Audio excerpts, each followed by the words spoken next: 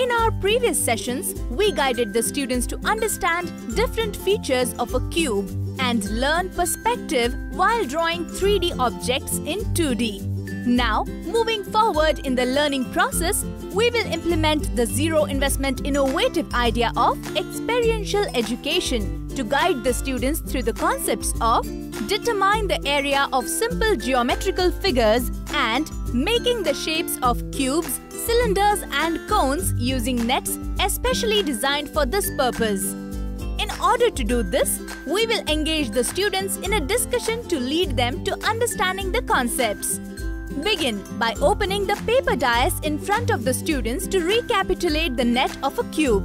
This will enhance students' observational skills and they will be able to recapitulate the joints and faces of the cube. Display it to the class and ask them to draw the same in their notebooks.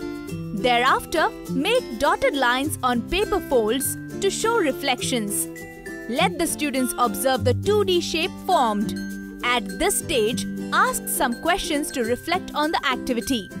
Ask them, what do we call this cutout? The students will respond according to their previous knowledge and the possible response will be net of cube. Reciprocating through prior knowledge leads to honing critical thinking abilities. Display the folding of the net along the dotted line to reform the dies. State that now they have to make similar nets. Now, let's continue with a similar activity where the students will have to form the shapes of a cuboid, cone and cylinder using nets. But let's see it unfold in the next video.